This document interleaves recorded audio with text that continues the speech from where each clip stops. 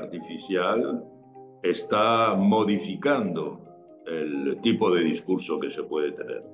Y por otra parte está consiguiendo que eh, finalmente la apariencia pueda ser eh, elaborada de tal manera que parezca real cuando resulta ser artificial.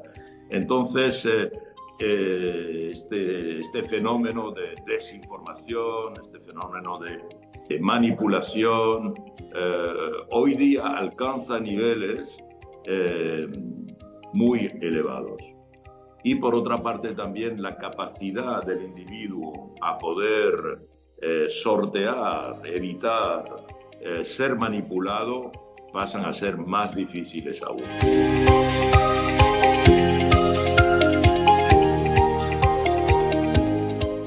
Entiendo que la izquierda tenga una reticencia, una desconfianza, una desconfianza crítica con respecto a eh, por ejemplo, las redes sociales. ¿Por qué? Porque al origen de las redes sociales están grandes empresas que son actores fundamentales del neocapitalismo tecnológico y por consiguiente eh, entiendo que eh, la izquierda al principio pueda preguntarse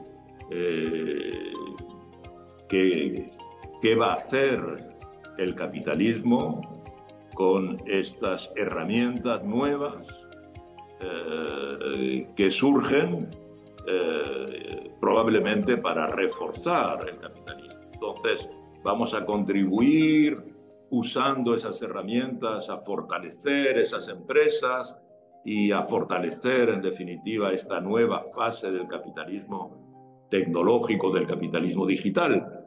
Eh, Digo, me parece que esa, esa reticencia, esa prudencia, esa eh, timidez de principio me parece justificada y quizá explique en parte eh, esta, esta actitud globalmente de la izquierda hacia las redes. ¿Por qué la derecha ha usado hasta ahora las redes sociales con más eficacia que algunas fuerzas de izquierda.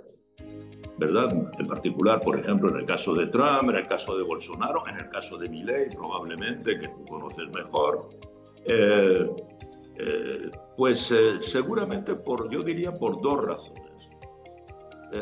primero, porque la derecha es más sensible precisamente a estas teorías de la eh, conspiración. Por tradición, por historia. Más sensible, más reacciona más, es más, tiene mayor eh, credibilidad. Hay una, hay una predisposición en, eh, digamos, la mitología de la derecha, en el funcionamiento de la derecha, a creer estas teorías conspirativas.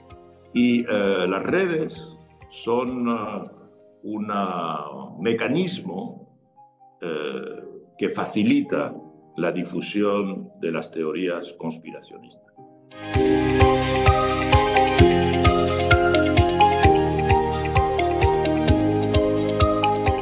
Las redes sociales no están hechas para informar, están hechas para emocionar, sobre todo apelan a los sentimientos, a las emociones, funcionan con eso.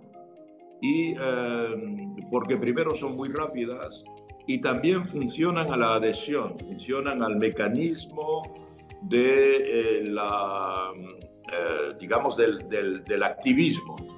Las redes te empujan a repetir, a difundir, a compartir el mensaje. Esto, es una parte fundamental de la red. El hecho de que constituyen red, va de, nudo a nudo. Eh, y eh, evidentemente son poco racionales. Y la convicción que, que procuran las redes son convicciones que se hacen por impacto.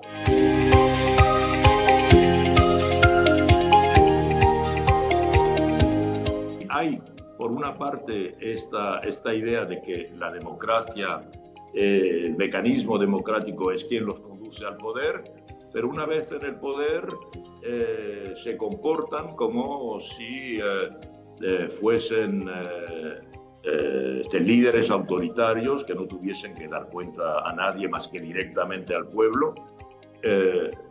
a través de las redes sociales en particular, con un apoyo también muy de tipo este, mesiánico, un apoyo eh, muy fanático por parte de las, de las eh, audiencias, de los electores. Digamos, la adhesión hacia estos líderes es tan fuerte, con una especie de desbordamiento de amor absoluto, que se convierte en odio absoluto hacia los enemigos o los adversarios políticos que están literalmente deshumanizados.